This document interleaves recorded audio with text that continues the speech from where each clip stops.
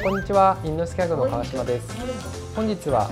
インノスケハグのトレーニング風景を実況していきます。えー、本日は新しいスタッフ、えー、出光さんの、えー、指導も込みでですね、えー、マルコのトレーニングをしていきます。この子はミックス犬です。はい、かなり荒ぶっておりますが、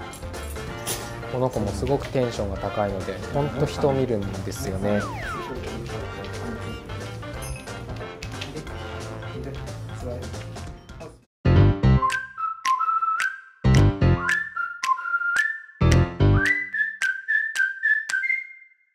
もうリードを持つ人によって全く態度が変わるので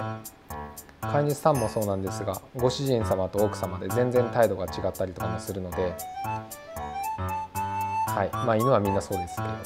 ちゃんとここで信頼関係を築けるようにここでトレーニングをしていくことが大切ですね。はいアルコちゃんです。もう知らない人がこういても全然怯える様子もなく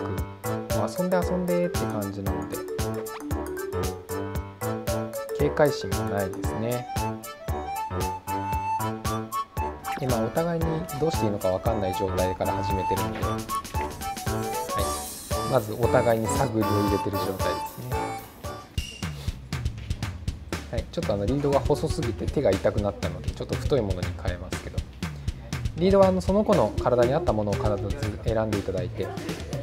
リードはナスカンの大きさが全然違うので小型犬とかに大型犬ものつけると首が重たくなっちゃうので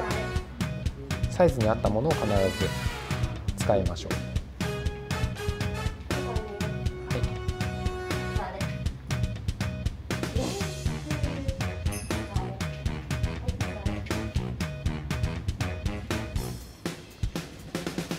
ね。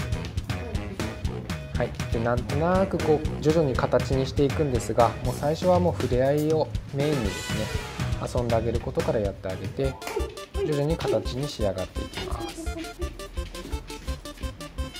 はい、で少しテンポを上げて歩いてあげるとテンションが上がってきたりとかするので単調に歩いてるとどうしても飽きてきちゃうのでいろんな動きをしてあげると犬の興味がこっちに湧いてくるので集中が向きやすくなっていきます。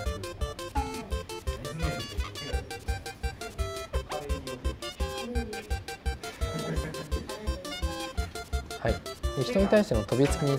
関してですね、はい、飛びつきは避けましょうっていう説明をしてます。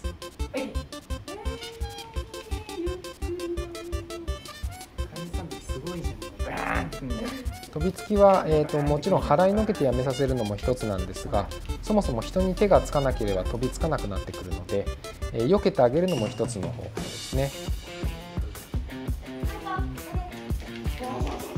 飛びつきも毎日の習慣なのでちゃんとやめてほしい時はやめて伝えないと